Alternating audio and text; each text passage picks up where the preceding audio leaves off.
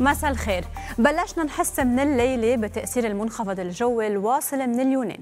ومثل ما شفنا شتت شوي ببعض المناطق الحرارة من بكرة بتنخفض بشكل ملحوظ وبتترافق مع شتاء وبرق ورعد.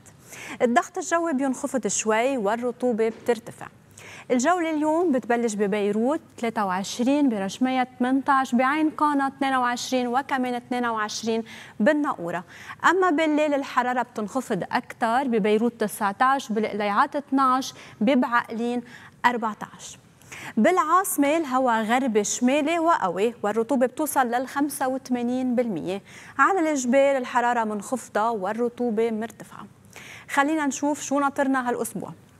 الثلاثة طقسنا غائم ويمكن تشتي بنسبة 85% الشتاء بيشتد بالجنوب وبترافقه عواصف رعدية ورياح ناشطة وبتتشكل سيول على بعض الطرقات اللبنانية. الأربعة غائم جزئيا والحرارة بترتفع بشكل بسيط على الساحل واحتمال تساقط الأمطار بينخفض وبيبلش يتحسن الطقس تدريجيا خلال النهار وبيتحول لقليل الغيوم. الخميس والجمعة بتستقر الحرارة على الساحل بينما بترتفع شوي بالداخل وعلى الجبال.